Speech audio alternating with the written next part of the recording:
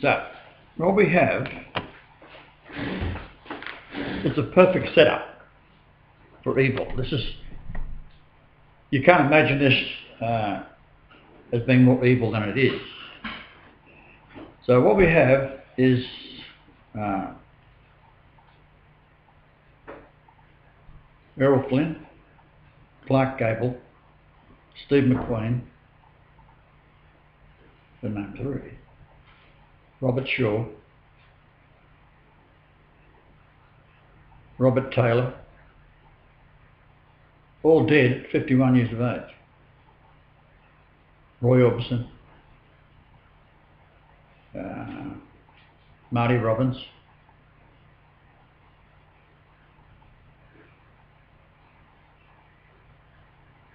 Now what?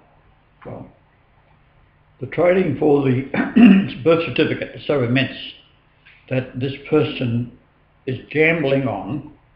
The deal is if they can get a put option on the death will occur when this man is 51 years of age.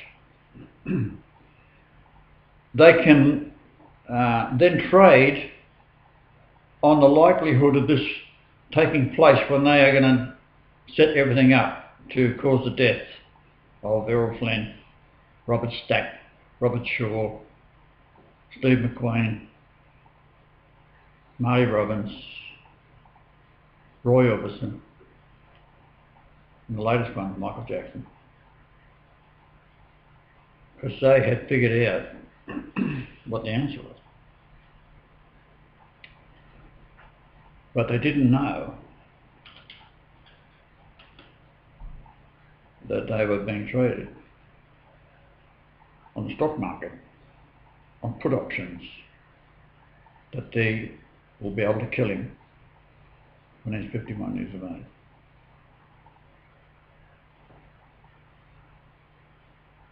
That's the fucking Jews. So I'm saying the Judaism, Stephen, well, Stephen Hawking, I think,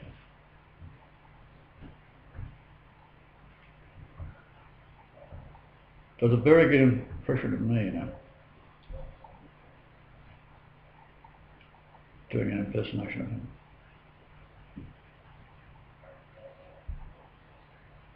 So you grab the attention, you guide the common good from all religions. Therefore, manifest as whatever the Hindi are looking for as their Messiah. I have fulfilled their prophecy.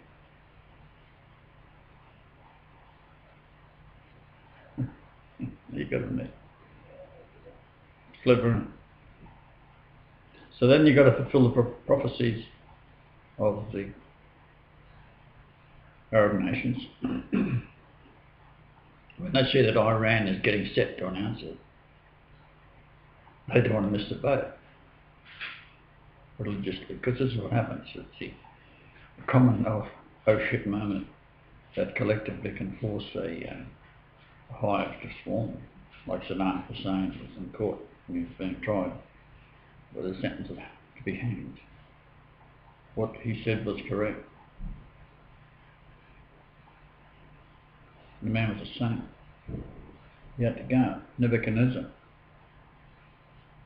He thought he was Nebuchadnezzar, therefore he's the one that got the job. Someone's got to do it. He did it.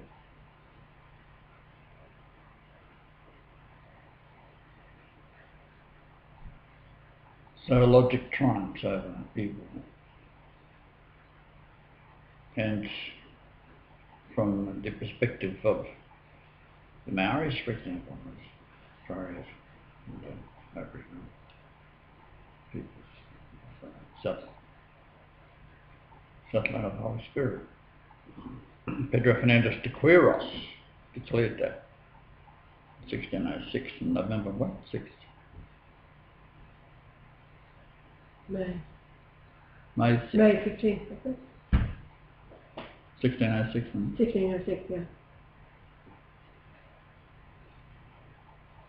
that the gospel will be taught to all people to the South Pole freely without prejudice in the name of Jesus. Pedro Fernandez declared it on the New Hebrides Islands. New Hebrides, New Hebrews.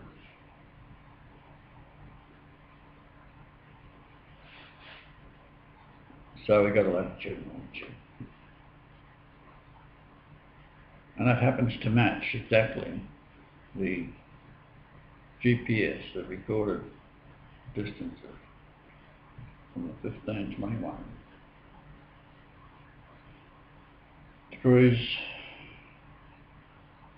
down to the Uluru Ayers Rock where we were.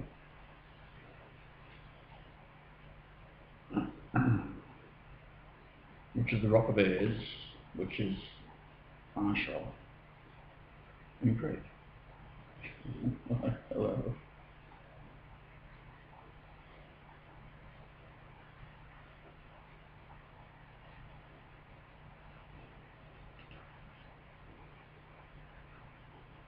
So we all got a new religion, haven't we? It was the Marshalls back in town.